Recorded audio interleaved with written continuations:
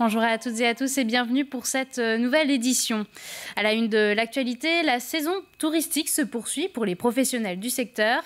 Qu'ils soient dans la restauration, les campings ou même les hôtels, ils n'ont pu commencer leur saison que très tardivement, courant mai à la suite du déconfinement. Pour rattraper ce retard, ils comptent désormais sur l'arrière-saison qu'ils espèrent pouvoir prolonger au maximum. Les explications d'Alba Mouton.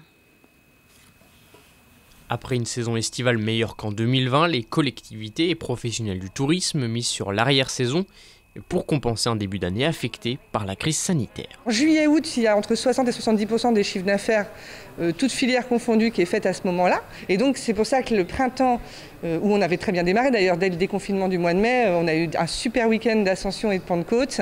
là, l'idée c'est qu'en septembre-octobre, avec en plus le beau temps qui est là, nous amène aussi euh, cette clientèle en plus dont on a besoin, et notamment la clientèle groupe.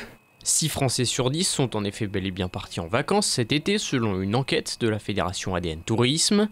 Des séjours souvent réservés à la dernière minute en fonction de la météo. Et en ce début septembre, sur le remblai de Saint-Gilles-Croix-de-Vie, les conditions estivales du moment sont appréciées par les gérants de bars et restaurants malgré l'incertitude toujours présente autour de la crise sanitaire. Ils espèrent que la situation actuelle pourra durer jusqu'aux vacances de la Toussaint. On a, ouais, on a fait un bon chiffre d'affaires sur juillet-août, on est content.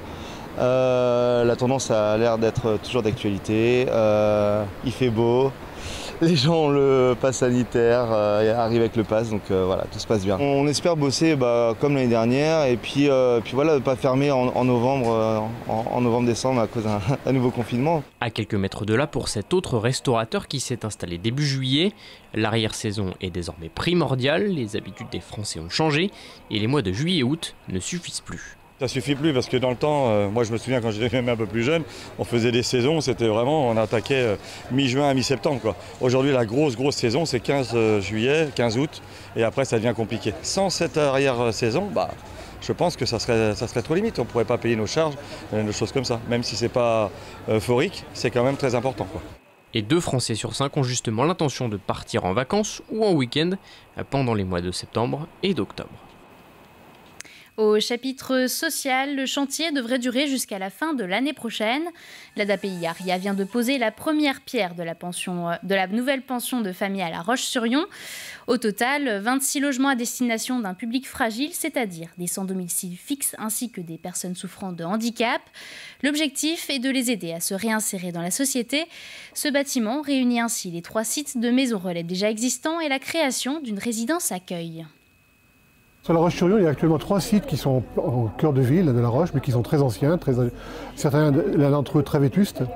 Et du coup, il a été jugé pertinent, opportun de regrouper en fait. L'intérêt de regrouper sur un seul site plusieurs euh, sites aujourd'hui euh, dispersés, c'est euh, pouvoir mutualiser des services pour les résidents, hein, faire des économies d'échelle, une cuisine, des espaces collectifs en fait qui seront partagés au lieu d'être disséminés. Donc c'est une simple logique d'économie d'échelle.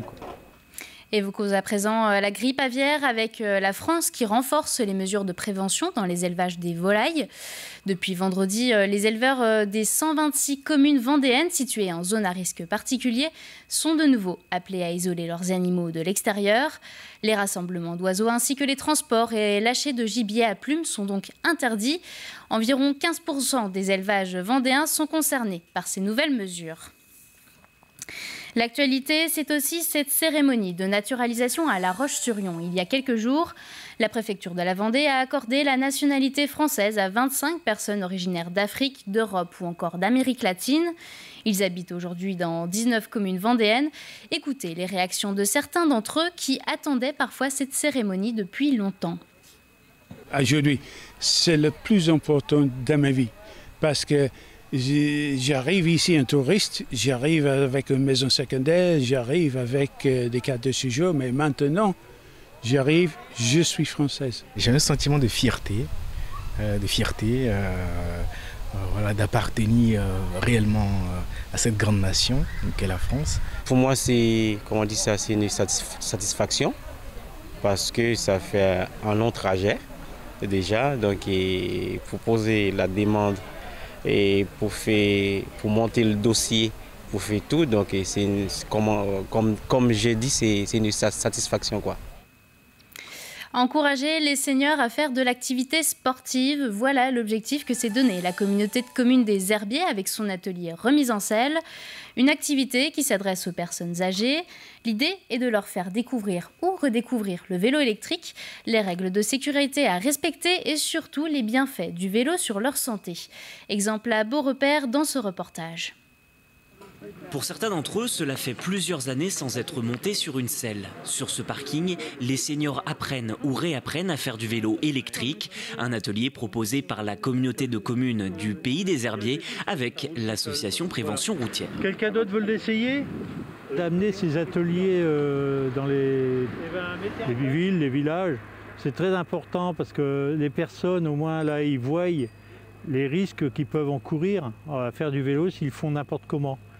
Là, au moins, on maîtrise, ils savent maîtriser le vélo déjà d'une part, mais la circulation aussi. Une maîtrise pour pousser les participants à utiliser le vélo plutôt que la voiture pour des questions environnementales mais aussi de santé. L'idée, c'est vraiment d'aider au maintien de l'autonomie le plus longtemps possible, de favoriser, de favoriser l'exercice d'une pratique sportive adaptée. On ne le sait peut-être pas assez, mais ça permet de travailler la respiration, l'équilibre euh, et, de, maintenir en éveil le sens au niveau de, euh, de faire attention sur la route, à ce qui se passe à gauche, à ce qui se passe à droite. Non, il roule, il roule. Je suis même monté à 30 à l'heure de la descente. Et certains d'entre eux se projettent déjà avec l'un de ces engins. Ça fait au moins 10 ans que j'étais pas monté sur un vélo, mais je sens que ça revient très vite quand même. Hein. Et je me dis, il faut peut-être que je change un petit peu d'activité. Là, j'ai entendu euh, aux explications qu'a donné le, responsable que même si on ne fait pas de gros efforts physiques, au moins les genoux fonctionnent, c'est un apport bénéfique pour la santé. Alors que je croyais que la marche que j'effectue au quotidien euh, était suffisante, je me rends compte que les deux sont complémentaires. Cet atelier, c'est dans le but d'acheter euh, un vélo électrique et on voulait voir comment, euh, déjà, voir notre impression sur un vélo électrique. Deuxièmement, voir les règles sécurité routière liées à l'utilisation d'un vélo électrique, les différents modèles pour nous orienter sur l'achat d'un vélo. La communauté de communes envisage déjà de reconduire l'opération l'année prochaine. Ouvrons à présent une page culture dans les quartiers prioritaires de Fontenay-le-Comte, où est joué jusqu'en octobre le nouveau spectacle de la Compagnie des artisans rêveurs. Cet événement s'inscrit dans le cadre du dispositif Contrat de ville qui vise à améliorer les conditions de vie des habitants de ces quartiers. Ainsi, à travers ce spectacle, la compagnie et la ville espèrent rendre la culture accessible à tous. On essaye de toucher les publics qu'on appelle empêchés ou éloignés, qui sont donc euh, les cités, qui sont aussi, on pourrait dire, les publics euh, à handicap, euh, les, les EHPAD, en fait tous les, tous les gens qui ne se déplacent pas forcément dans des théâtres. L'idée, c'est d'amener la culture au plus près de chez eux. C'est l'artiste qui va à la rencontre de la population et qui lui propose une autre façon de considérer la proposition artistique, peut-être plus simplement, en tout cas avec d'autres langages, avec la possibilité dans le compagnonnage de pouvoir prendre le chemin des salles. Et la prochaine représentation aura lieu vendredi à 16h30 en face de l'école Bourron-Massé à Fontenay-le-Comte. Dans le reste de l'actualité, le Vendée Energy Tour fait son retour pour une huitième édition. L'événement, qui vise à promouvoir les transports durables, débutera le 16 septembre. Au programme cette année, le retour du rallye en voiture électrique, ainsi que des rendez-vous entre publics et professionnels jusqu'au 7 octobre. À noter un focus particulier sur l'électrique, le biogène V et l'hydrogène. Il y a un certain nombre d'étapes où nous allons pouvoir voir des sites de production de cette énergie vendéenne, que ce soit euh, à partir des panneaux photovoltaïques, des centrales photovoltaïques qui seront à visiter, euh, Métavie qui est euh, un centre de production de biométhane sur, à proximité de la Roche-sur-Yon. Donc ce sont autant de sites intéressants qui montrent comment on fabrique cette énergie. Il va y avoir aussi cette grande chance de pouvoir voir ce nouveau site de production à Boin euh, d'hydrogène, l'hydrogène vert. On produit euh, euh, une énergie extraordinaire à partir du vent et de l'eau. Direction le haras de la Vendée à La Roche-sur-Yon se tenait hier la troisième édition des Cavalcades, une journée durant laquelle cinq écuries de la région ont présenté leur discipline. L'occasion de découvrir neuf divisions équestres, dont le sous-obstacle, le horseball, la voltige ou encore le tir à l'arc. Les cavalcades permettent aux professionnels du secteur de se rapprocher du public. Sur une journée comme celle-ci, on peut euh, avoir un véritable échange après avec le public, on a le temps, on peut en profiter aussi pour sortir des jeunes chevaux et surtout d'expliquer ce que l'on fait. C'est-à-dire que le public ne vient pas voir un produit forcément fini, il vient quelque chose qui peut être en cours de réalisation et ça permet d'expliquer les difficultés qu'on rencontre et de faire comprendre un petit peu aux gens notre métier. Voilà, ça permet d'avoir un échange différent avec le public et puis aussi de pouvoir rencontrer euh, les différents professionnels parce que sinon on ne se croiserait pas forcément. Donc ça permet de découvrir d'autres disciplines et pourquoi pas de faire germer d'autres idées pour des futurs spectacles. Toujours dans la découverte jusqu'à minuit, samedi se déroulait la septième édition de la Nuit des Jardins à Saint-Gilles-Croix-de-Vie. Une déambulation qui met en avant chaque année un quartier de la ville.